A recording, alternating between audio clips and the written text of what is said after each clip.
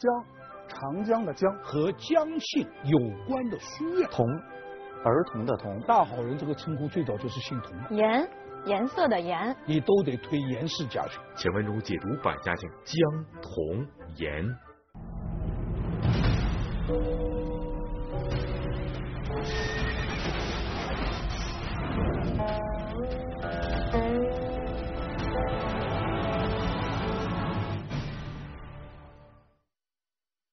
说起姜姓的名人，我先给大家猜个谜。这个谜的谜面呢，是唐代诗人李白的两句诗：“三山半落青天外，二水中分白鹭洲。”咱们这个打一个书院的名字。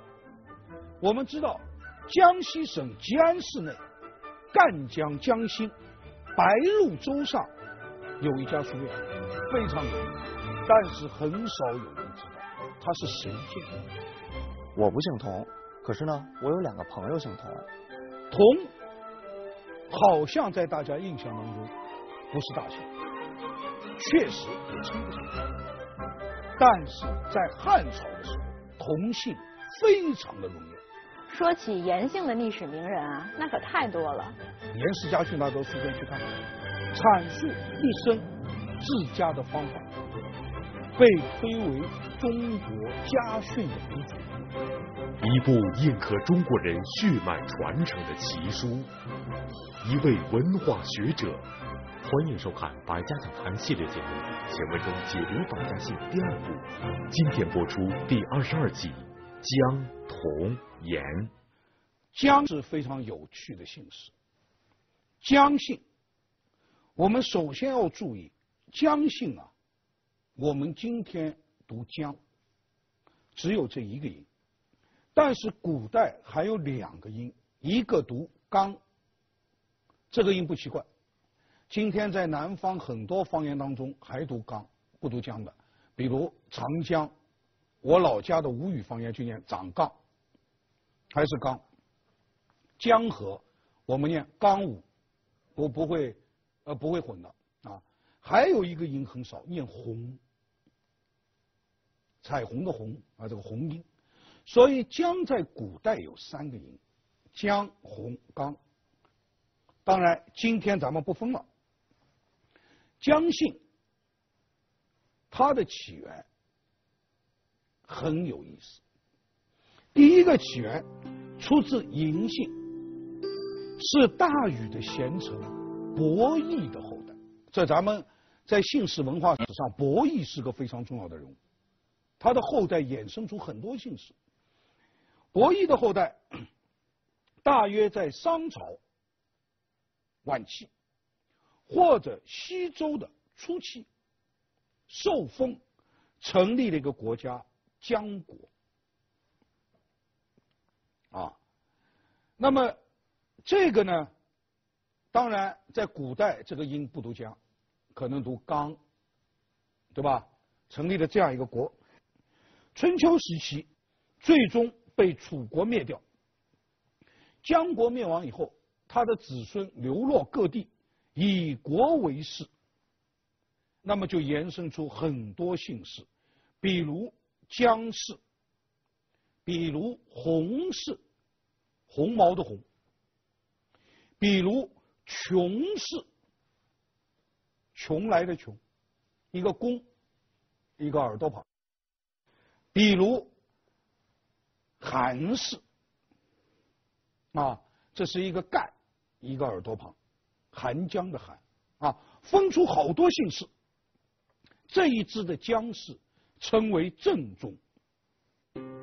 起源二源于姬姓，姬姓这支姜氏啊，后来很发达，但是起源很晚，晚到什么地步啊？晚到宋朝时期，宋朝在中国姓氏文化史上到现在才一千多年啊，那真是小弟弟了。宋朝时期，有一位福建泉州人，叫温干度，有这么一位人，这个人的年代非常清楚，公元八百九十八年。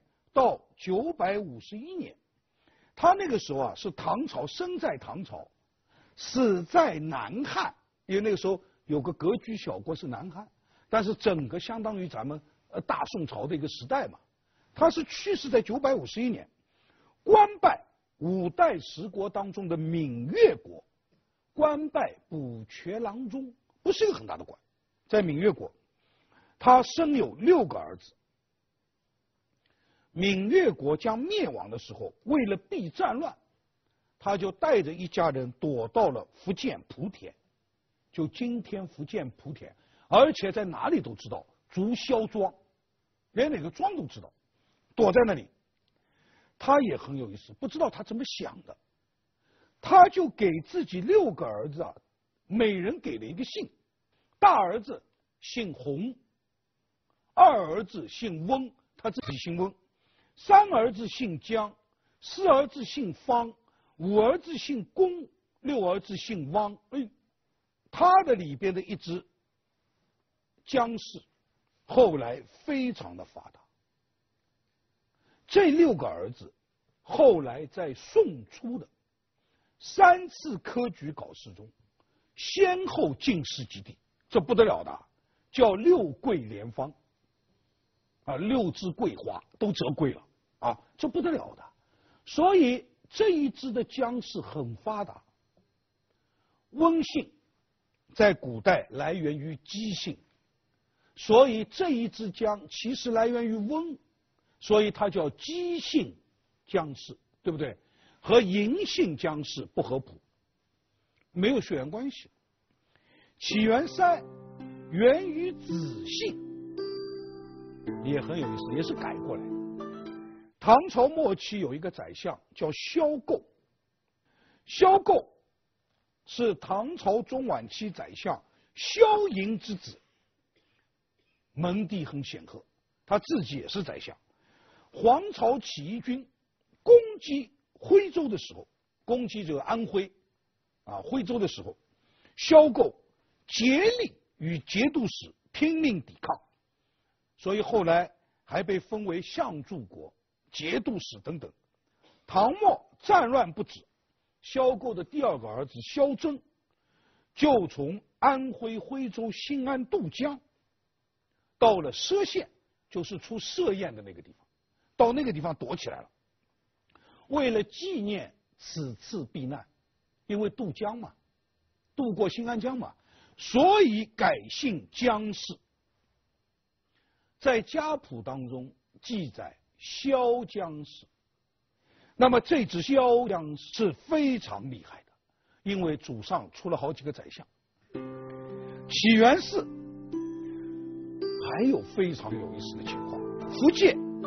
连城这一带有姜氏的族谱，我们在这个族谱里看到，说那一代当时有一个人啊，呃，叫卢也义，这个人，这个人在唐宣宗时候是进士，当过建州的刺史，他老家在江西建昌，到闽南来当官的时候，他到闽南来当官的时候。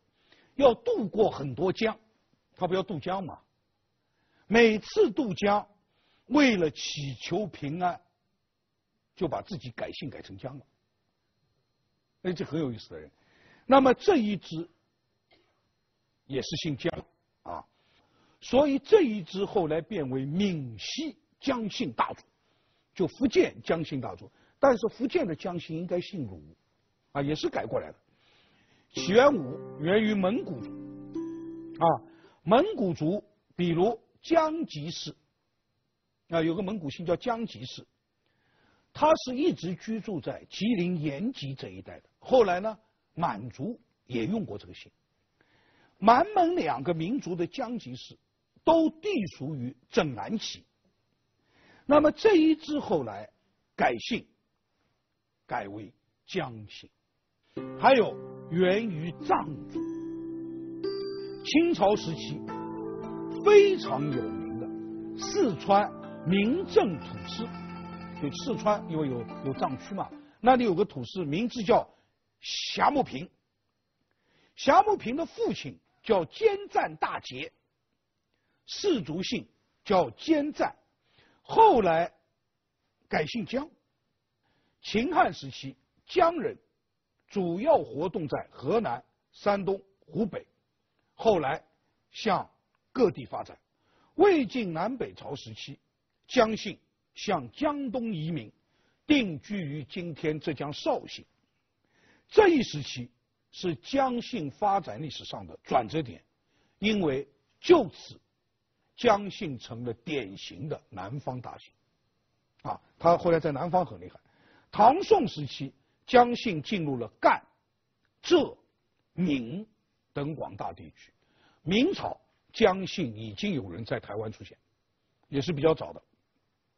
当代姜姓在全国的分布和大家想象的可能不太一样。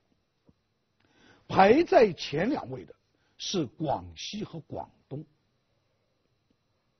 后面的两位跟大家想象的一样。第三位是江西，第四位是安徽。酒鬼香泉酒提示您：精彩继续。在这里啊，就想给大家介绍一家和江姓有关的书院，非常有名。敬请关注《百家讲坛》系列节目，前文中解读百家姓之江童言。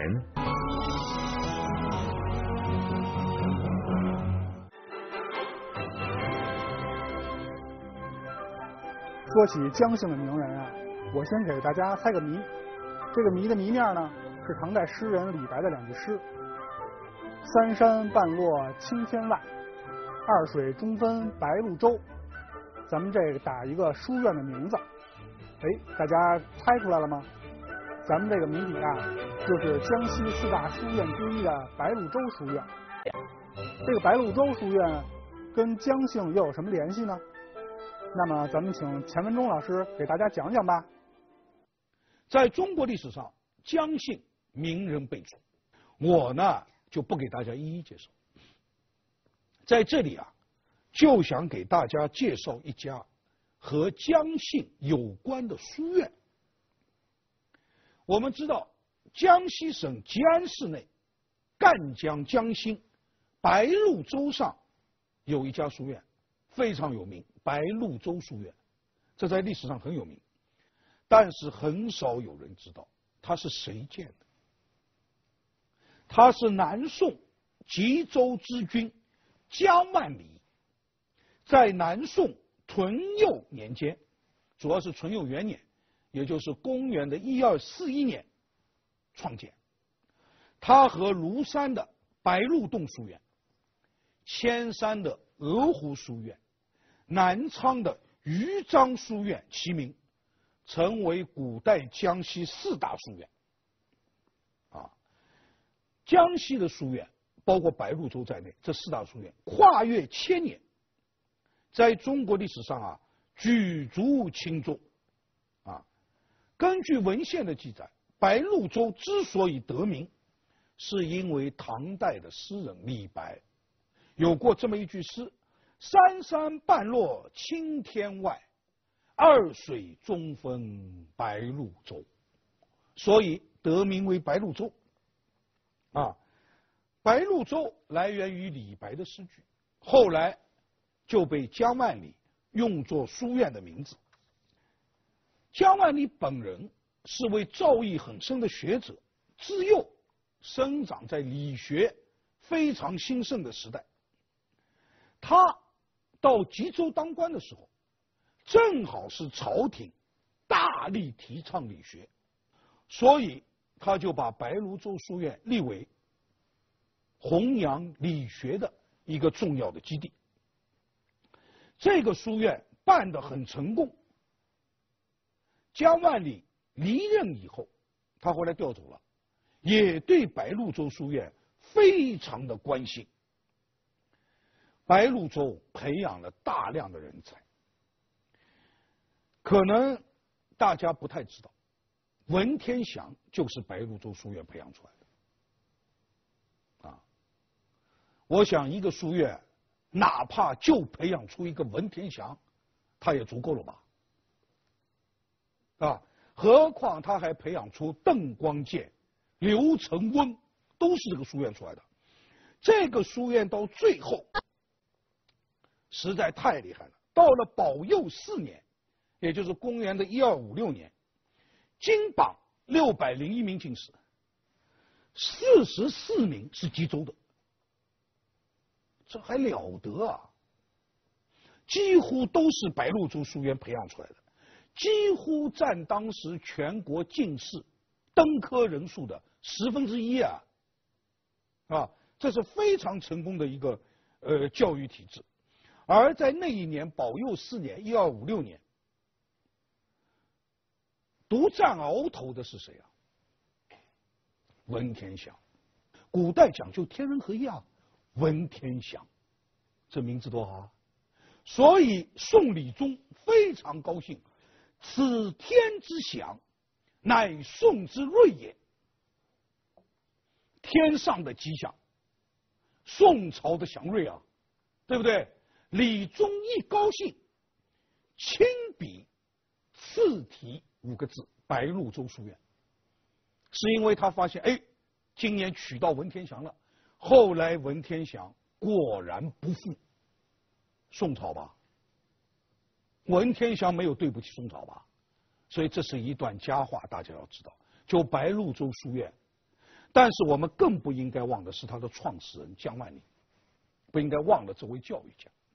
江氏在今天的姓氏排行榜上排在第五十二位，那当然是大姓了，人口五百五十三万八千多人，占全国总人口的千分之三点四。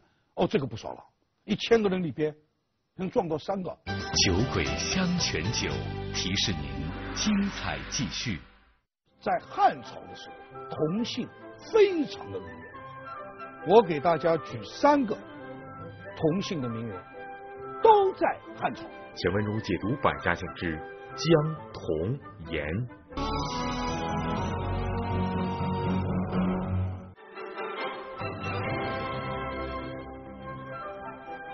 我不姓童，可是呢，我有两个朋友姓童，我们关系很好。可是呢，有件麻烦事儿，他们两个，一个说自己这个姓应该念童，另一个呢说自己这个姓应该念钟。每次聚会的时候，我都很纠结，不知道应该怎么称呼他们，所以请钱文忠教授帮我们解释一下。接着讲是同姓，儿童的同，但是大家一定要注意。同姓有两种读音，一个读同，一个读中。前文中的中的这个音，后面这个音现在没人念了，大家都读同了，但是在古代是不一样的。从它的源流就可以看出，源流一源于姬姓，是皇帝之孙，颛顼之子。也就是皇帝的曾孙，皇帝的曾孙叫什么名字？知道吧？专小子，这名字太搞笑，老童。你到底是老啊，你还是童啊？对吧？他叫老童啊。那么，老童的名字也叫卷章。老童天生有一副好嗓子，所以他说话或者唱歌的时候，非常的激昂，声音非常好。老童大家都忘了。但老童的后代不得了，老童的后代谁呢？崇黎、吴回、陆宗、祝融、彭祖，他后代很厉害啊！这个老童，在老童的后世子孙当中有姓童的，这当然非常古老的姓氏。这一支念童啊，元六二源于封姓。是春秋时期晋国的大夫胥同。胥同啊，在晋厉公执政的时候，胥同是晋厉公的心腹大臣，亲手改写的历史。胥同后来卷进这个晋国的政争，为了避杀身之祸，逃掉了。逃的过程当中，把他后代啊就不姓胥了，啊也不姓封了，姓童，起源三源于地名，是春秋时期陈国，它有个地方叫夫同邑，底下有个地方叫夫同邑，夫同还有一个名字叫夫中，在今天山东省济宁市汶上境内，啊，那么这个陈国也是姬姓啊，对吧？那这一支后来被灭掉以后。就姓夫同氏里边取了一个同氏，但是这一支念钟，就古人清楚了。过去我姓钟，写出来一看，哎，也是同，但是我跟前面的同不是一支，我是陈国夫同义那个地方的后代，但今天都念同了。起源是源于职业，这个说起来，咱们姓同的朋友。千万不要不高兴。同时，是官吏犯罪以后被判为官宦人家的奴仆，以及这些奴仆的后代，叫同呃，就叫同史啊，包括他们的眷属也有这样的，在同史的后裔子孙当中，啊，后来就有姓同的。当然，这一支来源太繁复了，你就分不清了，太多了啊。起源五源于董氏，哎呀，这个里边就太厉害了啊！这来源于谁呢？来源于董卓啊。董卓有一支家谱上记载说，五族本姓董。汉董仲颖将军，那不是董卓吗？因与毕所害，后夷未必杀灭，弃草一粒而为同氏。好，有一支姓童的家谱上是这样记载的：董卓的后代。后来大家都要杀董卓的后代，董卓因为太残暴了嘛，他们就把这个给去了。去了以后，底下是这么一个字嘛，是一个仲嘛。但是它改成了同。起源六源于蒙古族，蒙古族里边有同姓，而这个同姓来历不得了，是蒙古汗国的开国元勋木华黎的后代。木华黎当然厉害了，成吉思汗身边非常重要的战将。木华黎有个儿子，那个儿子叫安童，是元朝的开国元勋。安童的后裔子孙当中就姓童了，啊，这一支是蒙古族，还有一支是蒙古族的卓克氏，后来也改姓佟了。起源七源于回族，回族同氏啊，源于古代西域。那么在古代西域有一个人叫宝同，他的后代变成两支，姓宝姓同。这是回族朋友，另外呢，我们知道兄弟民族当中啊，苗族、土家族、侗族、傣族、彝族、黎族、藏族、台湾土著都有姓同。同氏早期活跃于渤海地区，也就是今天山东省北部一带，后来逐渐向南搬迁。到了宋元之际，同已经是南方的一个著名姓氏。但是北方流泪之，成为望族。这一支在哪里呢？在雁门郡。雁门郡在哪里啊？今天山西省代县。雁门关嘛，在那里。这个我们可以了解到到这里，但是此外，同姓的迁徙路线啊，不清楚了，我们查不到更多的资料。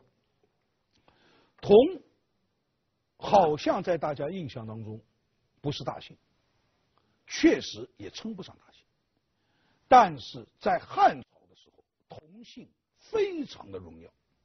我给大家举三个同姓的名人，都在汉朝，就在汉朝举三个。同辉，字汉中，东汉琅琊人，早年。当官当下等官，不不不高的，奉公廉洁，啊，为人称道。司徒那有个大官叫杨赐，对他十分欣赏，就把童辉招到自己身边当个官后来杨赐官场遭难，追随者啊纷纷走避，那躲都来不及嘛。只有童辉有忠心，一直跟着他，并且为他表白，一直到杨赐免罪获释。所以童辉一下就有名了。忠贞不二嘛，对吧？杨赐推荐他担任了县令，那么他管理的非常非常好啊，地方非常的安定，使得这个县里面的这个牢狱啊，几年啊没人可关，就没人关了。莫是这个夜不闭户，路不拾遗，而且啊都非常好，结果。引发了一次移民潮，别的地方的人啊，纷纷迁到他管的县里边来。那这个古代人口多是一个巨大的力量，纷纷往这里迁。后来又被升为丹阳郡太守，这个丹阳是指安徽宣城。那么不得了，又这样，又治理的非常好，又引发一次移民潮，大家不远千里。带着人都跑到他这个县里，所以他是一个非常有名的一个官员。后来死于任上，那么老百姓为了纪念他，给他建了祠堂，就叫同公祠，将他的衣冠葬在当地。啊，老百姓非常的崇敬他。比如童毅，也是汉代时候的人，这个人品德高尚，他人还活着的时候。老百姓就为他树碑立传，哦，这个极其少见了。童中玉，汉朝时候山东省诸城人，就是琅琊人，跟刚才我们讲的童辉大概是亲戚，是一个地方的。行善做好事，被称为大好人。大好人这个称呼最早就是姓童的，今天您真是大好人啊。你以为这是一个临时造出来的词啊？你以为是大大的好人吗？不是，大好人是有点的，大好人是个固定用法，就是给童中玉的。他曾经把全部家产拿出来，长期抚恤灾民，救活了很多人。啊，这三个汉代的举一举就可以了，基本都是山东琅琊这一带。同时，源流也很多，我们前面也讲过，也有很多民族当中都有同姓。在今天大陆的姓氏排行榜上，排在第一百五十八位，在台湾排在第九十七位，而在台湾排的很靠前，人口大概一百零二万一千多，占全国人口的万分之六点四。酒鬼香泉酒提示您。精彩继续。郭成郭的郭，他说我是郭子仪的后代。比如说你眼睛怎么蓝的？梅，梅花的梅。梅姓的历史上，人才辈出。钱文如解读百家姓之郭梅。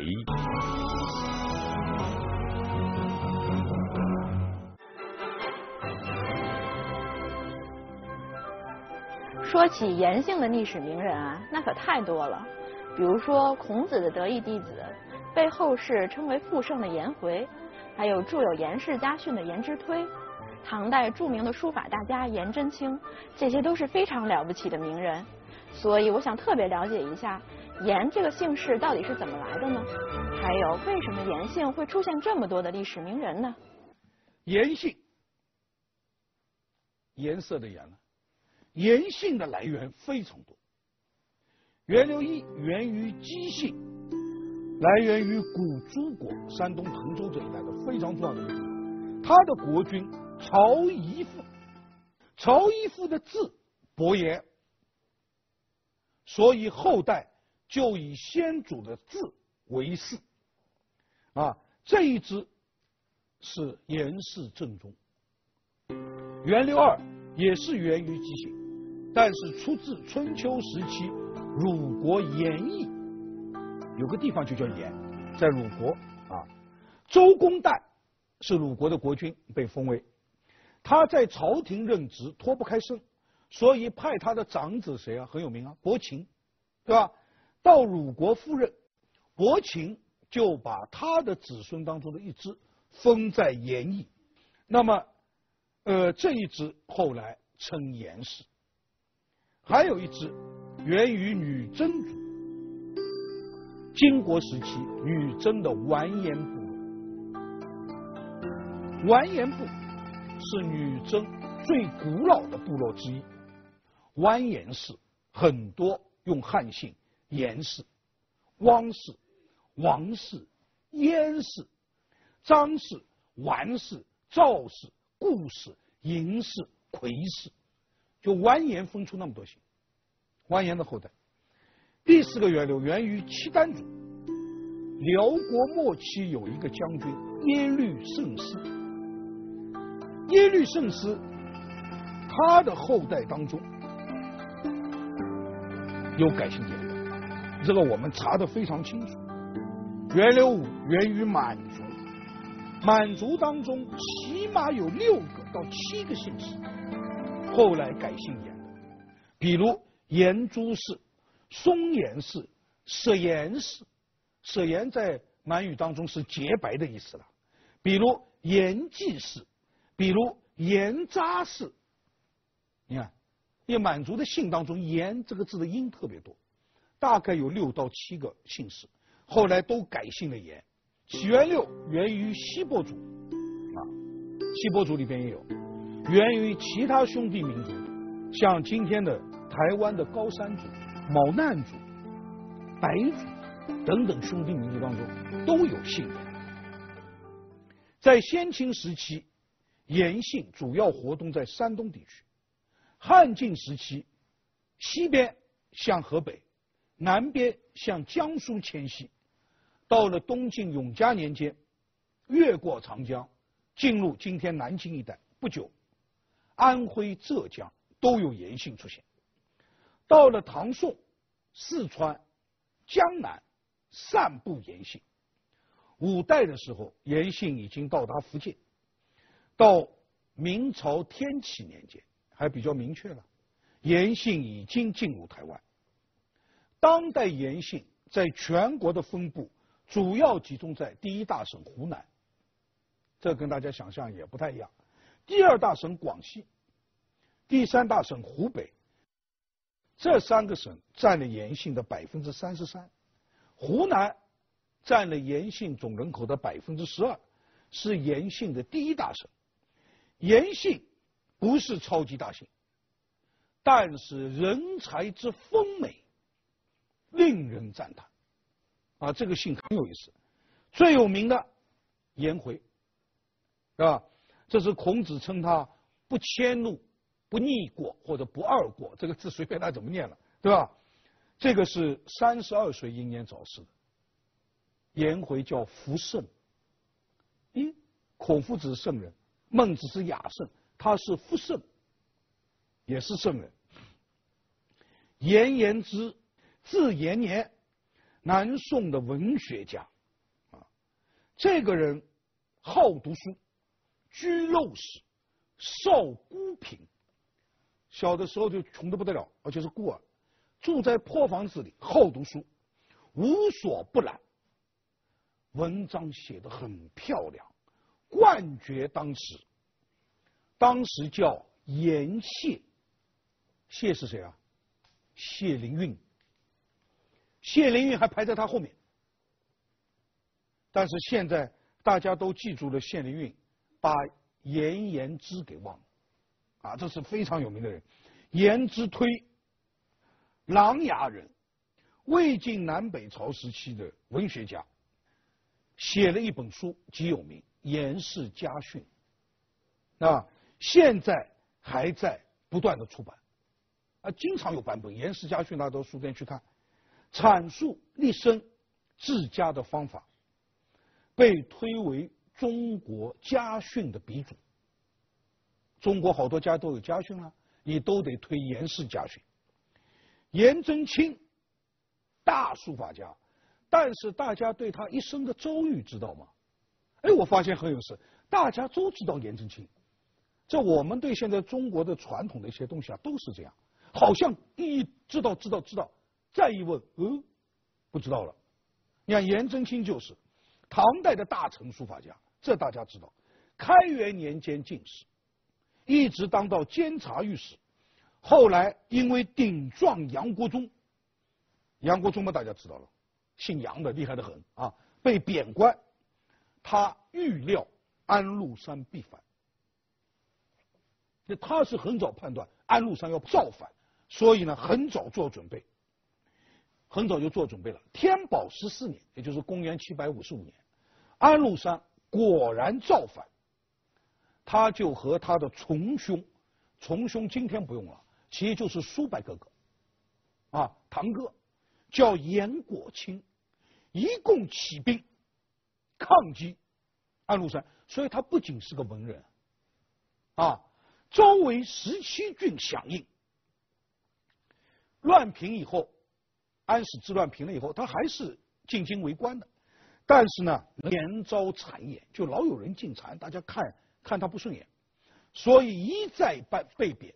后来官儿当到刑部尚书，后来又当大了，封鲁郡公，所以称颜如公，对不对？大家都称颜如公。肃宗、代宗时代，他人很很正直的，数次仗义直言，为大臣所不喜。德宗时候，李希烈自称天下都元帅。攻陷鲁州，颜真卿受命前往劝谕，因为颜真卿名声很小嘛，就叫他去劝。那么持节不屈，就不屈服，坚持劝谕，被李希烈杀害。所以颜真卿是被杀掉的，被一个叛将杀掉，终年七十六岁。当然，对他的书法成就、颜体，我们不必再讲了。按照中国的正宗，学书法要颜体入手的，因为很有骨骼，很有骨骼，这跟他的为人是一致的。当然，字和人并不一定一致。有些人你看着很讨厌，蔡京啊啊，字好的很；赵孟俯没骨头，字漂亮的很。不一定的啊，但是从颜鲁公的身上，他证明了，哎，有的时候字和人是一致的。所以你不了解颜真卿的经历，你就不会欣赏颜体字的风骨。颜氏在当今的姓氏排行榜上排在第一百十二位，人口大概两百零九万，在全国人口的千分之一。就多一点点，在一一的那个卡头啊，多一点点。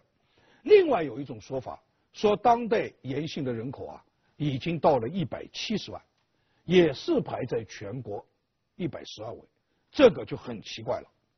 因为这边是二百零九万三千，排在第一百十二位，这边只有一百七十万，差了整整四十万，也排在一百十二位，这就非常奇怪。好在我再三跟大家强调，这样的数字只能供大家参考而已。今天的百家姓就为大家讲到这里，谢谢大家。